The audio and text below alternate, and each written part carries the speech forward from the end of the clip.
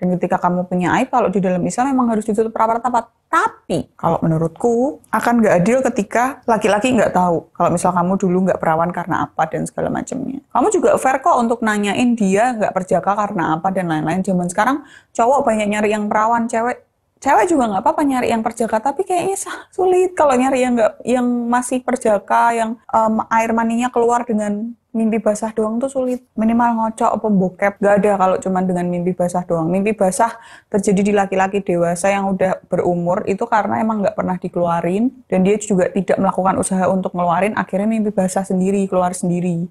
Itu metabolisme tubuhnya kali ya. Nah jarang kamu akan nemuin kayak gitu.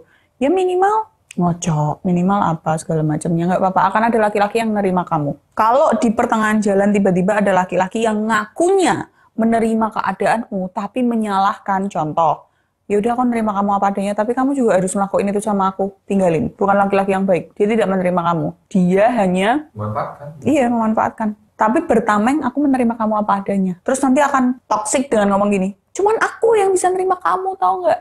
Cuman aku yang mau nerima kamu, cewek yang udah nggak perawan begini-begini. Kamu tuh lonte, bele. Camkan omongan saya.